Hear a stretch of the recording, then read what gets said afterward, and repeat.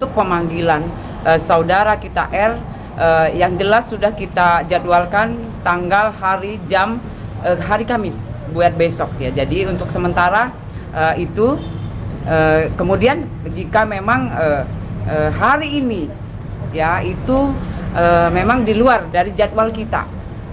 Itu rekan-rekan. Berarti pihak eh, Polres belum menerima eh, statement dari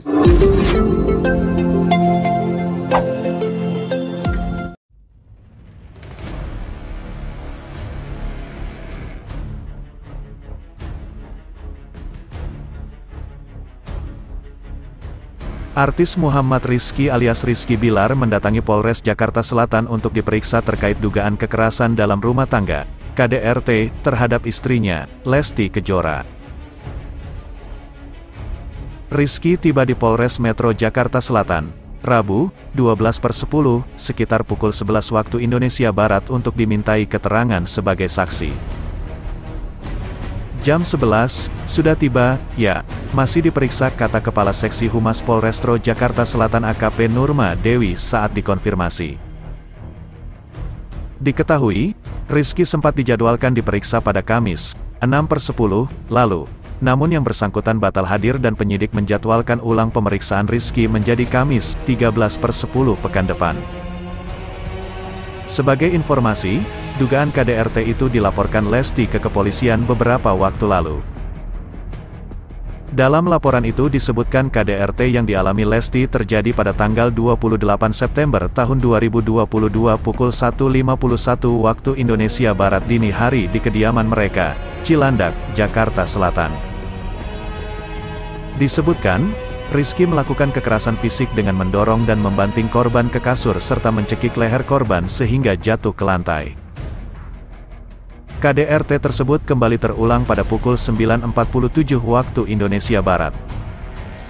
Saat itu Rizky menarik tangan korban ke arah kamar mandi. Kemudian membanting korban ke lantai dan dilakukan berulang kali. Akibat KDRT tersebut, Lesti kemudian melapor ke polisi. Lesti juga harus menjalani perawatan medis di rumah sakit akibat luka-luka yang dialaminya.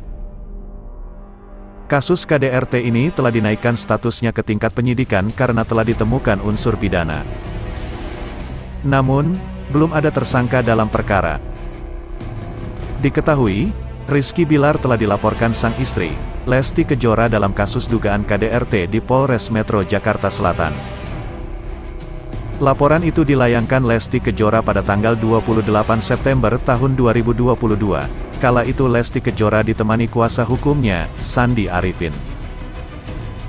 Lesti Kejora dalam keterangan laporannya mengaku sempat dibanting dan dicekik oleh Rizky Bilar. Biduk permasalahan rumah tangganya itu berawal dari Rizky Bilar yang emosi karena ketahuan berselingkuh. Hal ini tertera dalam laporan kepolisian nomor LPB 2348 IX 2022 SPKTPOLRES Metro JAKSELPOLDA Metro Jaya. Rizky Bilar sempat mangkir dari panggilan pemeriksaan pertamanya di Polres Metro Jakarta Selatan pada tanggal 6 Oktober tahun 2022. Kala itu melalui kuasa hukumnya, Adek Avril, menjelaskan jika Rizky Bilar minta diundur pemanggilannya selama satu pekan. Jadwal pemanggilan pemeriksaan kembali Rizky Bilar pun ditetapkan pada tanggal 13 Oktober tahun 2022. Namun sang artis meminta agar jadwal pemeriksaan dimajukan ke tanggal 12 Oktober tahun 2022. Baru-baru ini kondisi terbaru Lesti Kejora yang diketahui sedang berada di Mekah bersama keluarga untuk menunaikan ibadah umrah terkuak dan tersebar ke publik. Dalam sebuah video yang beredar di media sosial, kondisi istri dari Rizky Bilar tersebut terekam oleh kamera usai kasus kekerasan dalam rumah tangga, KDRT, yang dialami dan dilaporkannya. Video terbaru kondisi Lesti Kejora saat berada di Mekah itu diunggah ulang oleh akun gosip at rumpi garis bawah gosip dengan memperlihatkan Lesti yang tengah makan bersama keluarganya. Lesti yang terlihat sedang mengunyah makanannya itu juga-juga tampak membaik dan cukup sehat. Masya Allah terlihat membaik. Inilah momen terekam Dede Lesti dan keluarga sedang makan di Mekah. tulis keterangan dalam unggahan akun @rumpi garis bawah gosip yang dikutip Viva pada Selasa, tanggal 11 Oktober tahun 2022. Ketemu Dedek Lesti di Mekah, tulis keterangan yang ada di dalam video yang diunggah. Dalam video tersebut, Lesti yang mengenakan hijab berwarna abu-abu itu terlihat sedang mengunyah sambil sedikit berinteraksi dengan orang yang ada di hadapannya. Tampak juga ayah Kejora yang ada di kursi depannya bersama Lesti untuk makan bersama.